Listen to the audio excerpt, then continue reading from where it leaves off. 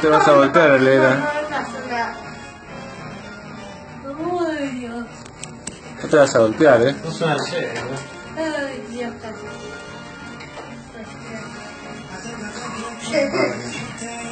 Dile ¿eh? besito, lejos.